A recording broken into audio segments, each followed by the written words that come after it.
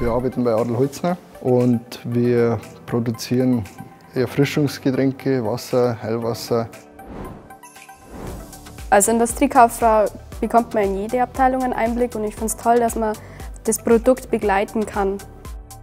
Also ich verstehe unter Innovation, dass man die Anlagen bei uns immer modernisiert. Es ist ökologischer, wenn man moderner wird. Wo viel Innovation drin liegt, ist das Marketing.